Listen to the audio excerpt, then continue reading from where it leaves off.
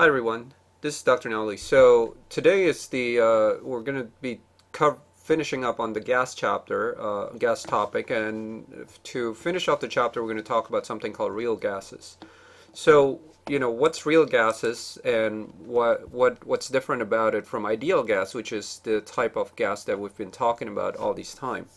Well, if you remember back to the ideal gas equation, um, we made certain assumptions in the ideal gas equation uh, that's based on the kinetic molecular theory, right? So those are called the postulates of the kinetic molecular theory. And in the kinetic molecular theory, we made the assumption that the container volume, um, you know, the, the volume where the gas is put in, is relatively large compared to the distance between the particles. And as a result, that makes it that you have a lot of space in the container. So the gases can be really far apart from each other.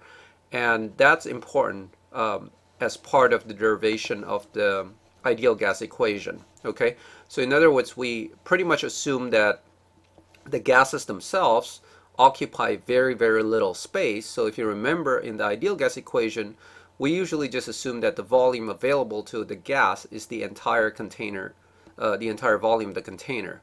So we don't really think about the fact that the other gases are taking up space because their volume is so small compared to the volume of the container. So that's the first assumption that we made. We made the assumption that the volume of the gas is really, really small and matter of fact, it's uh, negligible compared to the volume of the container. The second assumption we make in deriving the ideal gas equation from the kinetic molecular theory is we made the assumption that there's no intermolecular interactions between the gas particles. Uh, you know, you can say that is insignificant, but basically we just neglect it. We just don't assume that there's anything at all. Um, we just assume that there's no interaction whatsoever between these particles. Now, this type of assumptions, uh, they're true as long as you make sure that the following conditions are also true. And the two conditions that matter here to make sure that a gas behaves ideally is that the temperature has to be high uh, and we'll talk a little bit about what high means in terms of actual numbers but the temperature has to be high because when you have um, the gases at high temperature they're moving very fast right? Remember that the temperature relates to the kinetic energy which relates to the speed of the gases. And if they move very fast then there's really no um, significant interactions between the molecules because they're moving so fast that for all intents and purposes there's no time for them to make any significant intermolecular interaction. Uh, the second you know condition that has to be satisfied is the pressure has to be low. Now if you think about low pressure, low pressure really means that there's not a lot of particles, right? There's very uh, low number of uh, moles of particles. If there's very uh, small number of particles, that means you pretty much have you know large volume. If you're talking about volume compared to the number of particles then you have large volume of the container relative to the number of particles that you have. So that satisfied this assumption right here okay? The question is what happens when we don't have these conditions? In other words when we have low temperature and we have high pressure okay?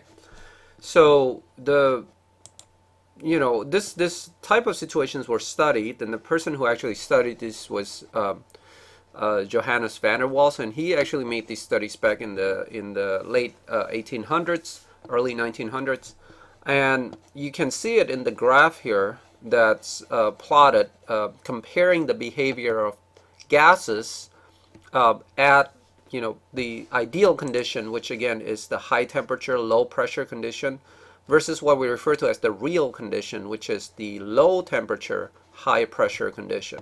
Okay?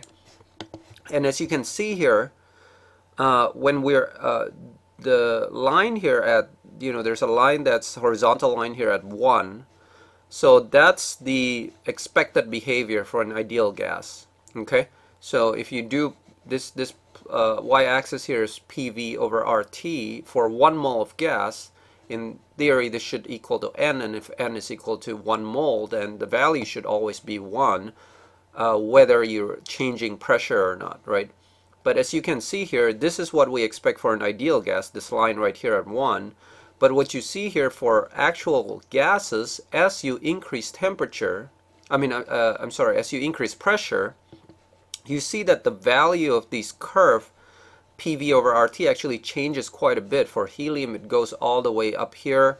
Uh, for something like uh, water, it actually drops down all the way here. So none of them is actually near the ideal gas um, line itself.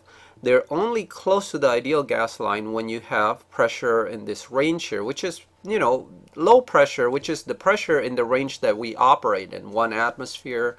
That's where the ideal gas equation usually holds correctly. But as you go further away from the um, low pressure condition, as you go to higher and higher pressure, you see that these curves all start to deviate, right? They start to uh, change from what you expect from the behavior in the ideal gas equation. So as a result, van der Waals came up with uh, an equation to express the behavior of uh, real gases.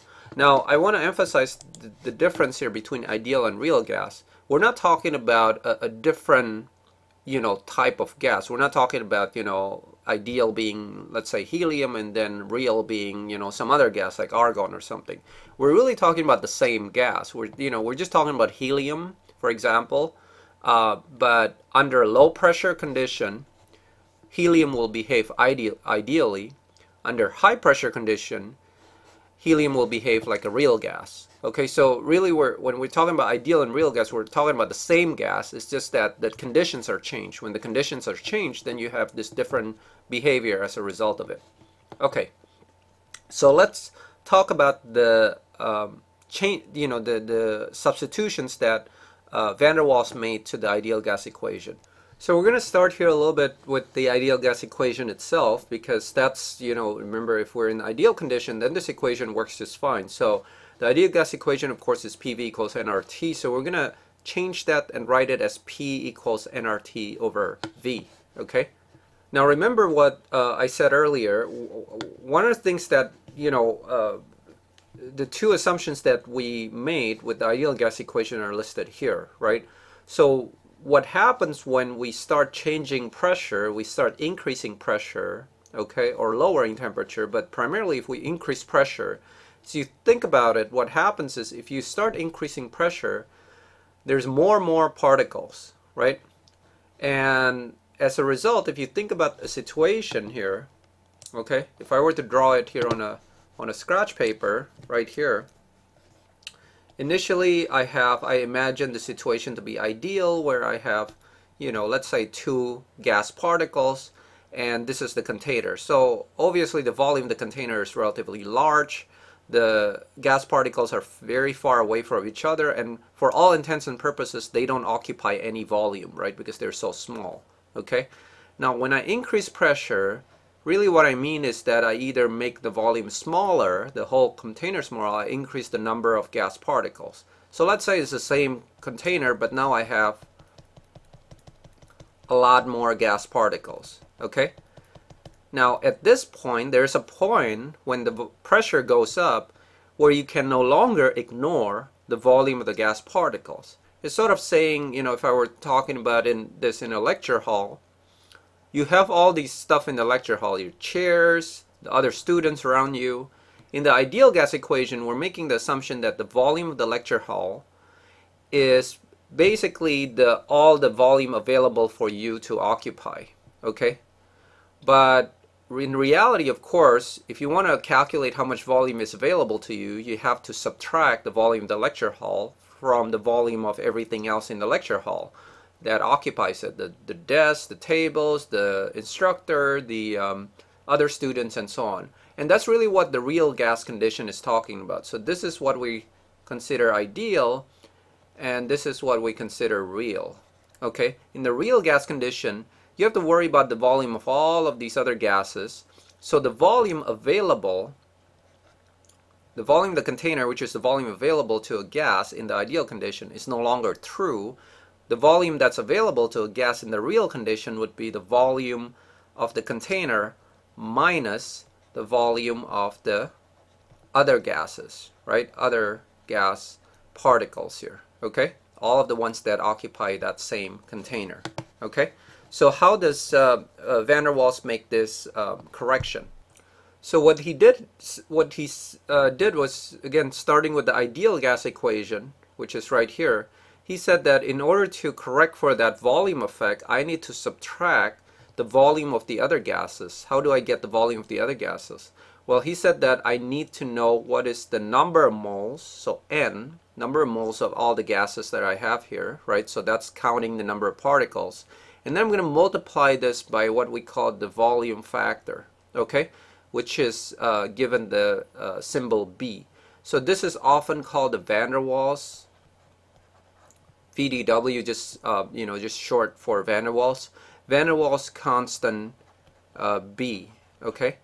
So this is sort of a this is a measure of basically the volume of a particle and later on we'll talk about that there's values of B has been measured for many different gas particles but basically he's saying that if you want to correct for the volume you're going to have to subtract that volume of the container by this NB quantity which corresponds to the volume of all the other gases that occupy that same container okay alright in the next video I'll talk about the correction for the other um, the other correction for intermolecular attraction.